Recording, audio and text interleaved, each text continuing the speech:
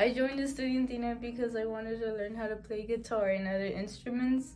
And it was really fun because I learned how to play it and we perform around most of Brownsville and we start showing people our love for music with them and we go on field trips. Too. I would recommend you join Estudiantina because playing the guitar is a lot of fun and you meet a lot of cool people. I think uh, people should join Estudiantina because it's a good way to make friends and it's fun to learn uh, to play an instrument.